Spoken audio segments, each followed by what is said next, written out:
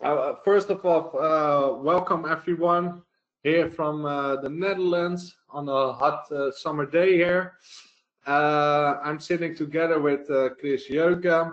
I'm Chris Triest, and we're going to talk about automating APIs. so the agenda for today, well, first we're going to introduce ourselves. then I'm going to give a small rant about why you should care about APIs. Then uh, Chris Jeuke is going to talk about what is an API, basic API examples, translating an API to PowerShell, performing tasks with APIs, searching for APIs, uh, will be done by me, yes, and then I will also do creating your own APIs, testing APIs, and integrating APIs, and we have a part about community. So we have a lot of information to share in 40 minutes. So we will talk at uh, Eltjo speed. Or Shawn Bass speed. Or Shawn Bass, yeah. Uh, so first off, let me introduce myself. Uh, this is me. I work as a technology officer at Rawworks. Our mission at Rawworks is uh, creating intelligent uh, workspaces, um, uh, trying to make uh, big company processes 10 times more efficient with automation. And our main goal is uh, trying to make uh, you a user uh, work 80% of the time in one application without opening extra applications.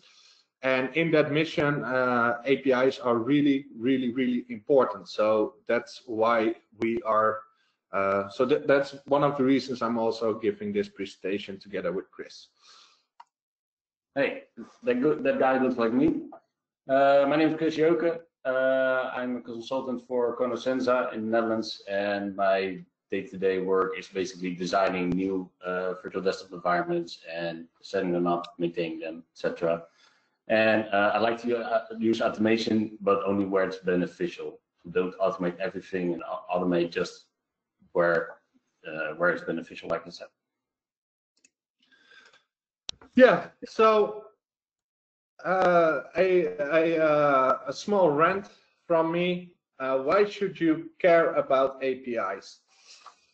In this, uh, in the E2EVC digital, I, I, noticed that a lot of people are talking, of course, about uh, Windows Virtual Desktops, or they're talking about Citrix Synapse and Desktop. Um, and as you can see, I also did a poll from yeah, what what is the future digital workspace? Well, still a lot of people think it's it's going to be a virtual desktop, it's a modern workplace, uh, and a lot of people uh, are still not really knowing how to read APIs and integrating them into a digital workspace. So why is this important? Well, you must understand, at least from my vision, my perspective, uh, things like Microsoft Windows Virtual Desktop are just a tool. They're a tool to uh, create a way that legacy applications can be used uh, anywhere by, by, by, by the people. Um, because they can be used as a published application. But it's not the best user experience. The best user experience is not having to start up all those legacy applications at all. The best user experience is just sign into one web portal and from there do all your work. Uh, get notifications uh, just like on your phone uh, and, and uh, use application functions directly from that portal. I think that that is the future that we're going in. And it's not only uh, I think that most of you guys have already probably heard of microapps of, of Citrix, and Citrix is really doing this with the workspace and the future work.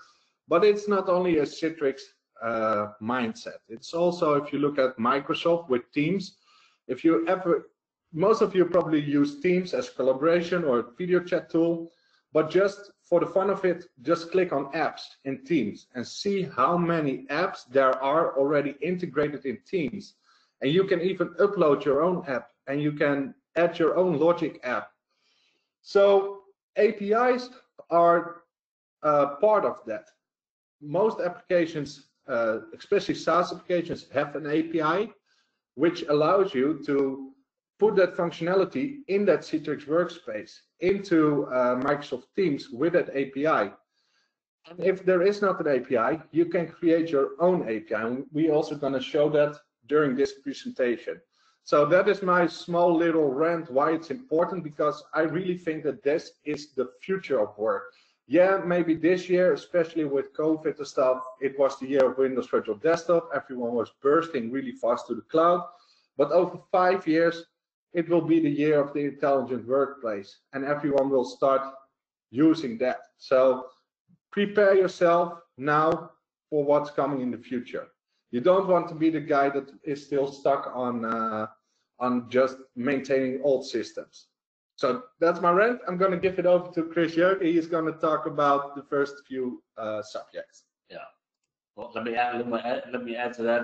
Uh, it's not about the workspace. Workspace. It's not about the application. It's about the information in the application and how you can get to it. Uh, well, first, uh, what is an API?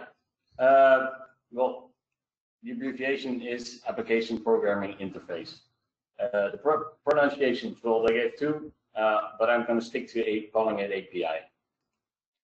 Uh, two definitions, uh, a set of rules that allows programmers to develop software for a particular operating system without having to be completely familiar with that operating system. And the other one, a set of functions and procedures allowing the creation of applications that access the features or data of an operating system, application, or service. Personally, I like the second one better because it defines better what you what you do in API. It allows you to get to the information uh, from an application without actually using that application. Okay, uh, so I have an outline of three uh, API examples. Uh, two of them are documented, one isn't documented. Um, uh, we walk through, walk through them, uh, how they work, how you can use them, and then in the next chapter, we'll look into it uh, how you can convert them to uh, PowerShell. How can you, can you get to that information from PowerShell? First, Merriam-Webster. Um, they have a, a, developer site, dictionaryapi.com, and uh, you can basically uh, sign up for an API key. Uh, get to that in a moment what the API key is. Uh, everyone can sign up for an API key. There are no specific requirements. They just want you to sign up first. Why is that? Uh, because uh, they want to authenticate and see who is using their API. What if they didn't have an API key and every, everyone could talk to it?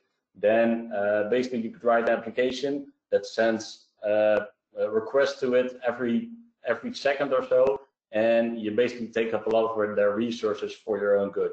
And they don't, basically don't, don't want that in their environment. So uh, they require you to register for an API key. Uh, just see this as a token to get to use the API. Well, kind of looks like this. Uh, don't worry uh, for everyone taking screenshots now. Uh, these keys are not correct. So uh, I changed something. So don't try to use them. And why should you? Because you can just sign up for your own. Uh, they pr provide you with two uh, keys, one for the dictionary and one for the source. Um, I basically used only the dictionary one in this example. So uh, then we look into uh, their documentation. Uh, so basically this is just from their website. You see uh, JSON, we're, we're going to use a lot of JSON and JSON is basically the markup language, how you, how you, uh, how the information you get from it is presented. So um, in the bottom line, in the response, that is information in JSON form. First, you see the request URL, and you see uh, a, URL, and then you see uh, vom, voluminous. Uh, that's the, the search string, and after that, you put your API key. Uh, created here an outline um, with specified uh, how you should format the URL. So basically, I could change the, the search string to something else. Uh, and I need to have my API key. If I would if I would in, insert this in my browser, I would just get an error because your API key is not a valid API key. So how does that look when you create a working string? Well, I've created this one. I replace voluminous for scripting, and I add my own API key. So what now? What if you paste that into your browser? Well, get it, it, it gives back this information as you can see, there's some, you, you, you see basically the outline of the information you get, but it's not really readable. Uh, that's because it's JSON and Uh, by default, uh, the, this from the Chrome browser, Chrome browser just uh, doesn't present it as JSON, it just presents it as, as plain text. So what I did, I installed an add-on into my Chrome browser and it creates it like this. Beautifier. Uh, no, it wasn't that actually. Oh. It was called something else. But no matter, uh, it's a lot more readable, but still not really what you expected. It's not really, yeah, uh, nice, nice informative for someone, for a user to read. So uh, that was one example. We're going to get back to that uh, in the PowerShell part, but first I'm moving to the next example. Well, I could take some some application or, or, or any other thing, but why not something that's fun, like Steam? Most people of you know Steam. Uh, Steam is an, uh, a gaming platform uh, from Valve, and you can use it to buy games, to play games, to interact with, with other players, etc. And they also have an API, which is documented. Uh, here also, you need to provide, for, for some functions, you need to provide an API key. You can uh, register for that API key, just the same as in Merriam-Webster. Um, well, there are some examples here. Uh, you can get your uh, user stats, you can use the information, etc. It's all pretty well documented. So let's take one from the documentation and uh, work that out. So what I did was uh, the global achievements for an app. Uh, so they gave an example. Uh, you see an, long URL, and at the end you see game ID. Game ID is the number of the game. 440 is for Team Fortress. Uh, for some reason, Valve thinks everybody still likes Team Fortress. Uh, I think they should put their time into developing other games like Half-Life 3. Never gonna happen, man. No, it's never gonna happen. Um, so I changed it a bit. Uh, oh, you see also at the end, uh, it says format XML, but I would like to change it to JSON because uh, as you can see later in the PowerShell script, JSON is a bit easier to work with in my opinion. So I changed the game ID to 2529950. Uh, that's the gaming ID for the game Rocket League. Oh, I thought that we're gonna do a question. I thought that Chris, if I'm, Let if people- let people guess. Let Uh, people guess. Okay, no, Rocket League. Yeah, Rocket League. Um, you, you can just basically look up look up the game ID. It's not not really a, a search uh, a way to search for the game ID, but you can just open the store page for that game and see the game ID in the top uh, address bar. Uh, so I added it, and what if I put this in the browser? What will it give back for information? Well, the achievements you can re receive for Rocket League. Uh, at the top is your first timer. That's at least that's that's when you make your first goal. So most people, 90% of the players of Rocket League have that achievement. Well, but that's just one game. Of course, uh, there's one other game that's all the rage right now. Everybody's playing, everybody's twittering, everybody is putting it on their virtual desktop with GPU. All very cool, and that of course is Command and Conquer. So I added the game ID, and it gives me that big uh, gives me back that information. Now you can use it, uh, this kind of information for your own website. Maybe you have a gaming website and want to give a, a small feed of achievements in your uh, in your sidebar. Uh, you can do that with that kind, this this kind of URLs. Okay, uh, that was the second example. Then we move to a third one, which which is not documented. And actually, it's a Dutch thing. It's uh, our afvalbeheer or waste management system of the town that I live in. Uh, basically, on their website, they uh, tell you uh, uh, based on where you live when which kind of trash is being picked up. And it's just a website, and on the back on the back end of it is a is a waste management application that is used by a couple of other towns as well.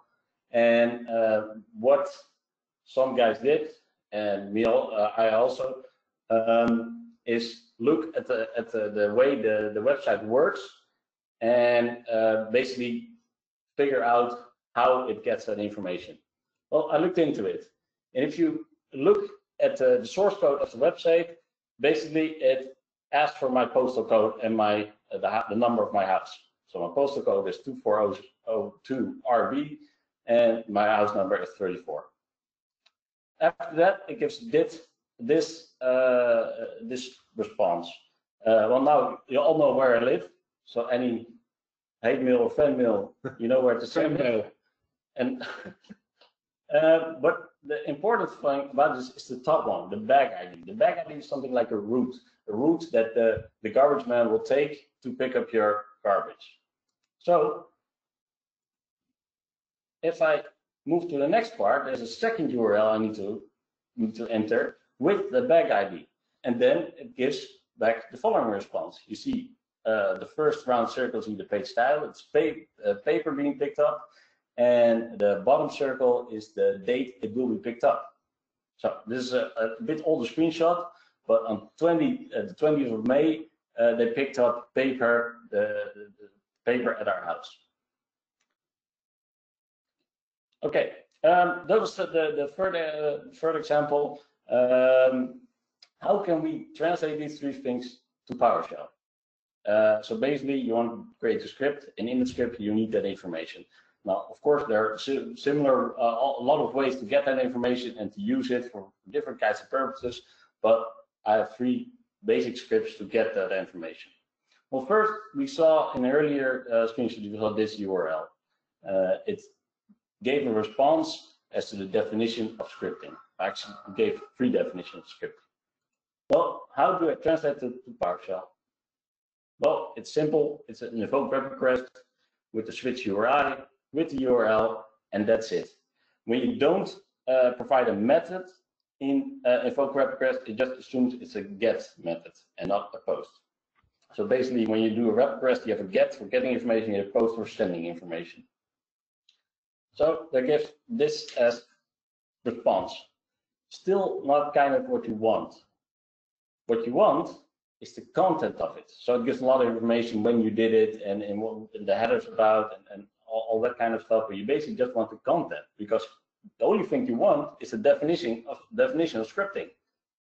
So let me clear that up a bit. So I do the invoke web request, the URI, I grab the content from it, and and convert it from JSON because what I get back is JSON, but I wanted to create it readable into PowerShell. So use the uh, use the command convert from JSON. Well, this is a bit this is a bit better. You see short def, and it gives two definitions. The third one didn't fit on the screen, but there is a third one. Um, well, that's one step, but not still not quite quite what we want. Take it a bit further. So I create a function, consult dictionary. It gives a parameter, just need one, par one uh, parameter, uh, that is your search string, and it will input that search string into the URL and uh, grab the date and the definition from the result. And then I would get something like this. So you just have a, a function loaded, you type in consult dictionary, you type in what kind of, yeah, what your query is, uh, again, I chose, chose scripting, and then it will show the three results. Well, that's a lot more useful because I now just see the results from my function. And this is a way of using the Merriam-Webster API for stuff like this. Then to the second, uh, we go back to the achievements. Uh, again, for Rocket League, um, well, like before, uh, the URL, the invoke web request, I grab the content from it, and I convert it from JSON. Well, you just get this. Well, we need to, just like XML, you need to go dig a bit deeper. You need to get achievements and uh, achievement percentages and achievements. So it looks like this. As you can see, I've added achievement percentage and achievements to this, and uh, oh, it will give this as a result. You see the same uh, the same information as you saw before on the website, although now it's in PowerShell. And you can use that for whatever your purposes. Now, uh, I don't think there's a really use case to do this in PowerShell, uh, because usually when you're PowerShell, you're doing work-related stuff, and Steam isn't really work-related. But to complete this example, here's the same, but for Command and Conquer Remastered.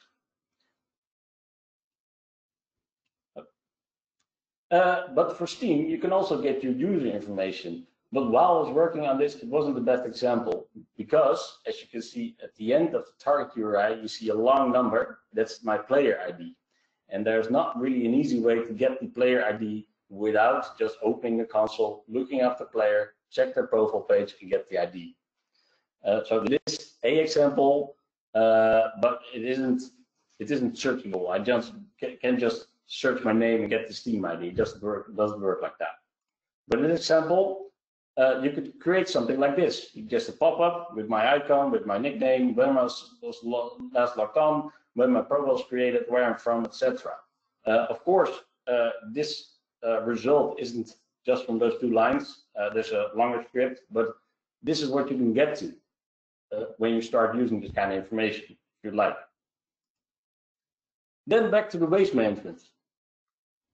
okay, so a function uh, just simple, uh, just get me the, the trash pickup dates for my uh, for my house, for my postal code, and put it at the end in an outgrid view. So it will give this result. But why did I choose this example? Um, basically, uh, because I use it every day, almost every day. Because in my home automation system, it looks like this. You see uh, trash, uh, and it gives us three types of trash, uh, paper, uh, plastic, and yeah, what do you call it? If they green green trash. Let's call it green trash. And uh, it looks this way in my home automation. So every time at six o'clock, uh, it gets the current date. What date is today? Does it match one of the dates? Uh, if so, format the message and send it as a notification to my phone. So wake up, when I wake up early in the morning at 11 o'clock, I look at my phone, I see the notification, I notice I'm, I'll notice I'm too late, and as a bonus, I know which type of trash will be piling up in my house for the next two weeks. Yeah, and this is really about also what I was saying in the beginning, automating uh, processes with APIs, making processes more efficient. Yeah. So that's why I chose the example because it was it was an undocumented one, but it was a useful one. So performing tasks with APIs. Uh, and we chose Citrix Cloud for an example because these are all, uh, the three examples were all getting information. It wasn't doing anything basically, just getting information that you use for other purposes. Uh, but before, uh, well, you have the developer side, which is actually pretty good. Uh, it's pretty well documented, uh, most of it. Well, you don't see the entire website, but there are a lot of options you can look into. And um, well, I chose first Virtual Apps and Desktop because most people uh, that are listening right now uh, are familiar with this one. Um, one thing we noticed when we went back to this, we, we looked at this last year and we're still not quite there yet. There was a lot of information, but not everything was correct. But it seems they improved it at this button, Invoke API.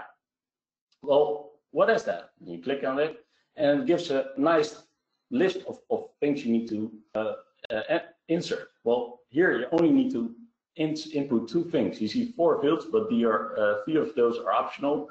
Only an author authorization. Um, and of course, in the user's URL, you need to input your customer ID. Uh, and one thing they added was to generate here for the bearer token. Well, you probably have seen a lot of, applications how you get your bearer token. I'm not going to go, uh, going to go into that. I'll give you a link later where you can uh, get your bearer token through PowerShell. Uh, but basically what we're doing here is import our client ID, client secret. You get this information when you uh, add an API access in Citrix Cloud, and it will give me back my bearer token. Uh, hold off on the screenshot, did bearer token doesn't work. As you can see, uh, I input my super secret customer ID in URL because it uh, would be wouldn't be correct to give you my, my own one. and you send it and gives back feedback. Basically, it shows my delivery groups. Of course, the list is a lot longer, but it didn't fit on the screen, but you get the idea. These are our delivery groups that are in our Citrix Cloud tenant. Well, how do you do that in Citrix Cloud? It's basically just the same as before. Uh, I input the, the, the URL, I add my bearer token as a header. Uh, here I define the method get and I find the header and get the content, convert from JSON and show me the items. Uh, but still, but still, yeah, that was only uh, uh, still getting information, was getting anything done. So how do we do something? Well, as you know, and you set up a new location, it's the E2E, uh, you need a resource location where you configure your cloud connectors. So it looks like this. You enter your name, you just save, and you have a resource location. You need to define it when you install your cloud connector. Um, but it isn't really documented how you create this resource location from uh, through API. So in our last presentation, we figured out how that works. Uh, and basically just this text is actually quite, quite simple. So I give a name as a body. In the header, I give my bearer token and type of uh, the, the, the, format I'm sending it. And then uh, I do invoke web request. Although the difference is I do a method post. That means I'm sending something. And it gives me a feedback. As you can see here, gives me the feedback that E2E EVC resource location is created and I have an ID uh, for it. And I can use that ID in other for installing Cloud Connect, for example. As you can see, it actually exists right now. So I finally did something with API instead of getting just getting information. Uh, just two quick notes before I hand it over to my buddy uh, next to me. Um, get bearer token uh, in the developer website. They give you two examples. What with one with a with a command, and uh, I didn't know what the other one was. And the second one is uh, Eltjo's uh, article about uh, getting data and that's just basically, he outlines it how you can do it with PowerShell in a also a pretty decent way. One thing to bear in mind uh, is there are different APIs for cloud, and some want the bearer token formatted with uh, CWS out uh, bearer in front of it, and some just want bearer in front of it. Keep this in mind. If it doesn't work, maybe you need the other one. Okay, then it's over to my buddy uh, Chris Triest. So I see that I have uh, just some uh, some time left. Uh, so now comes my part. So this will be uh, really fast talking. So one of the things I always got asked is, okay, so how do you find these APIs if they're not documented? So, so I'm going, we're, we're going to do a quick demo um, about that. Let me switch to Firefox. So here I'm in Citrix uh, Cloud. And if I go to my resource location, and I click on, uh, so here I have resource locations. In Firefox, you can open your uh, uh, web developer tools and then go to the network tab. And if I now create a resource location, and I save it, I can here see the post command it's doing. So I got the post. So this is the API it's launching. I can even see my customer number here. And here in the header, I can even see my bearer token. And in the uh, tab, I can see the parameters in the JSON and how the JSON is formulated in the post. So this is a way to find out uh, undocumented APIs. So let me quick uh, go back. So let's turn it up to 11 APIs. So I'm going to show you a few slides, but then I'm just going to demo, demo, demo. So testing APIs, we do this with Postman. I'm going to show you this in my demo. Creating my own APIs, well, there are a few different ways of creating your own API, but I'm going to demo it with Azure Logic Apps. And then integrating an API. Well, as I said in the beginning, I think that the future of work is integrating APIs into the workspace. So I'm going to give you a demo of a uh, micro app integration into Citrix Workspace. And keep in mind that this can also be done in uh, like Teams or VMware Workspace ONE. So those were my slides. Uh, I'm going to show you guys one last slide, and then I'm just going to do a demo. The last slide is um, at my company, Rawworks, we have a word for creating an API, an application uh, then that yeah, taking an application and then scripting that whole application so that you can use it in another way. We call this application as code and we created a Slack community. So please join the, uh, the Slack. Uh, here you can, uh, there are channels for logic apps, micro apps, mobile flows, uh, uh, flow, all that kind of stuff. So, and there are already a lot of people in the Slack. So if you have questions about those things, we can answer them and we can help each other. And uh, we are planning to do more and more with this Slack. So the Slack at the moment is really, there are a lot of people in there, but there's not much content. And we are trying to change this. But please join if you find this kind of stuff informative. So I'm going to quit the the PowerPoint right now, and we're just going to do demo, demo, demo. So Um, first off, let me show you how you can test an API. Well, for testing an API, we got a tool which is called Postman. And Postman is just a uh, Postman is just a web browser, but without the GUI. You can send a URL, uh, and it talks back to you in the language that it that it has. Uh, so here I pasted in the URL that we found here in the resource location, uh, creating a resource location. And I created a header with a content type and a bearer token. And I created a body. And the body is uh, JSON. So I formatted a piece of JSON here. So now I'm going to send a, a, JSON with the name uh, Postman test. So this means I want a resource location with the name Postman test. So if I'm going to send this, this uh, works as a normal web browser and it says my bearer token is invalid. That's correct because the bearer token I generated uh, while I fill this in is already old. So what I can do is just get this bearer token, copy that into my postman, and I can do a send And if everything is now correct, I should not get an error. I should get an ID. And when you see this ID, this is the ID of the resource location. So if you want to do more scripts uh, and API, you can get this ID and do more things with it, like putting uh, a cloud connector in the resource location. So if we now look in the browser, I'm going to refresh this. I should also see a resource location that is created with Postman. So it's called Postman test. So with Postman, you can easily figure out all your, uh, you can easily test all your parameters and uh, make a body and get the response just like you could with a normal web browser, but then especially for APIs. Uh, Postman is even really strong. It can do automated testing and stuff, but that is maybe for another time. So the next part I wanted to show you guys is the following. So let's say I uh, have a PowerShell script. Oh, let me really quickly start up my VM, sign in to my VM. So I got a PowerShell script that gets all the users from my Active Directory and then export it to JSON. So it's a really easy script. It's just load the Active Directory module, ask me for my domain credentials, uh, get all the users uh, and then select only the some account names. I only want the account names and then convert it to a JSON. Uh, why do I convert to a JSON? Because this PowerShell script is something I want to do with an API.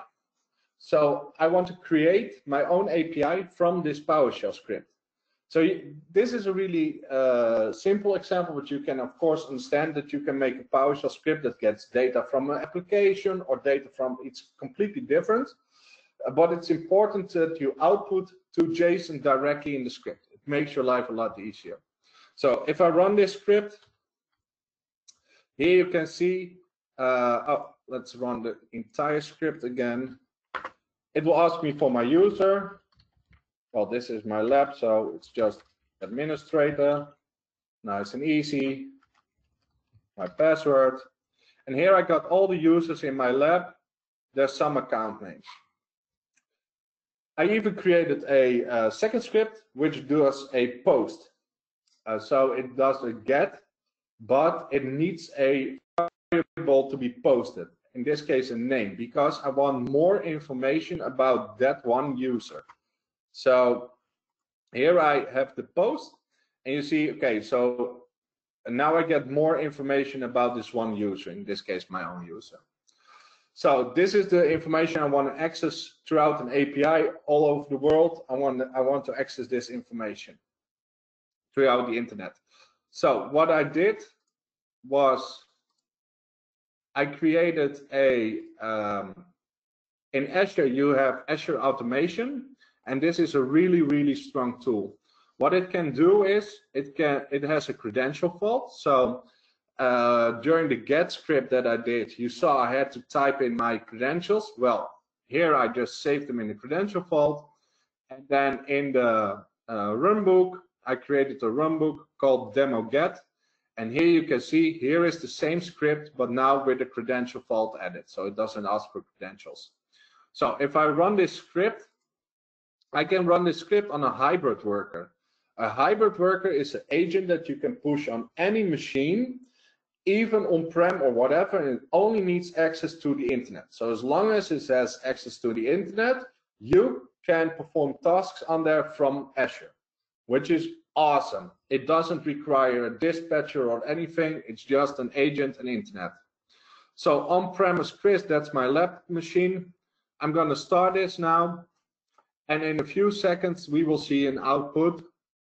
And this output will be the JSON that, that I got. Uh, in the meantime, while this is running, I will show you.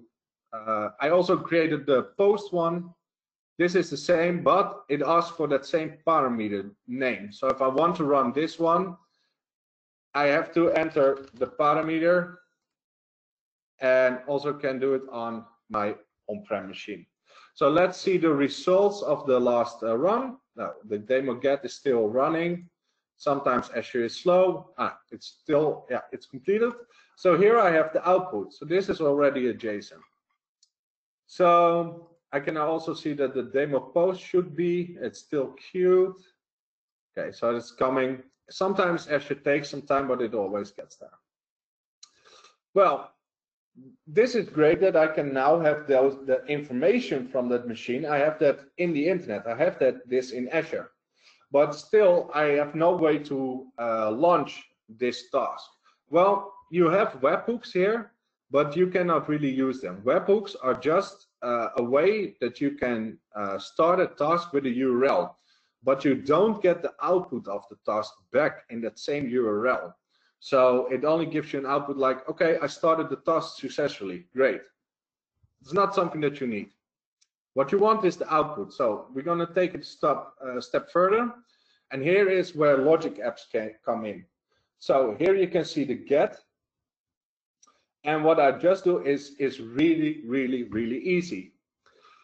I created a logic app, and this logic app says when a HTTP request uh, is received on this URL, so this URL is generated by the logic app, with the method get, start my uh, automation job, wait for the job to finish, get the output for the job, and then give a response with a job. So if I copy this URL and I'm going to do that uh, in my Postman, what I already told, this is a testing uh, suite. You can see that it will automatically show you, okay, these are the query parameters in your uh, Logic app. And if I now press send, yeah, okay, so now it's running. Uh, what it is, uh, Logic app, and this whole process takes uh, like 30 seconds, but you can see live in Azure what's happening. So I can go to overview, and if I do uh, refresh, I can see that it's running, and I can even see in which state it is. So it got my request uh, all right. It's now running that automation job. So it's waiting for the automation job to finish because I said wait for finish. And it will get the job output once it's done. Well, it's taking, usually it's 30 seconds, but it's taking a little bit longer. Maybe Azure is busy. Or, and, or everyone is trying it right now. Yeah, and of course I uh, I choose to do a live demo, so, uh, so that's also always uh, great. But it's done, so just keep talking, just keep talking. Uh, and it also has now created the output and the response. So if I go back to Postman, here I have the same response. So this is the response of a PowerShell script that I get throughout the internet. So now we can do cool stuff with uh, logic of uh, with uh, micro apps. So from this logic app, I can create a micro app. I see that we don't have a lot of time left, so I'm gonna uh, quickly show you the micro app side of things. And here in the micro app side, I can create a custom integration. And if I look in the custom integration, I use the base URL of my uh, Logic app. The data loading is the, the workflow. And here you can see that it doesn't get to this uh, machine. Here are my query parameters that you can see here in Postman. They're the same. You have to uh, remove those query parameters and put them here in the micro app. It's a whole thing. Don't ask me why. It's, you can then test it and you can get it. So how does it look as an end user? Well, I'm just a normal end user. I don't have any uh, access to the Active Directory, but you know, maybe I'm a HR employee and I need to see everyone that is in that Active Directory. Well, now it's simple. I just got one button here, get AD users, and here is the data right from the workspace of the end user without the end user ever needing uh, to know PowerShell or to need to know how logic apps work. Uh, it's it's a really really really powerful. So you can understand. So this is with a really small script. But if you have a really cool uh, script, you can of course do really great things. Or better yet, combine information from various sources and Yeah. present it as one uh, from micro apps. Yeah. So if you're also interested in this, uh, Citrix has done a uh, hackathon recently, Converged, and we did a complete something like this, but we did it with self-service and onboarding. Also just running scripts through logic apps and then uh, creating a whole onboarding system for HR. I see that uh, our time is, I think, over, but there are questions. So please, yeah, if you have questions, uh, go. We will try and answer. Uh, question for Chris. Is there a way to use task over multiple Azure tenants? Um, yeah, you can create uh, between your tenants, you can create trusts. Uh, that's called, oh, I'm, I'm blanking on the name, an enterprise trust or something, I think. Uh, but you could also just um, create um, uh, different logic apps in different. Uh, yeah, there, there's also a thing called API Manager. Check check that out. All right. Uh, right. Rasmus, So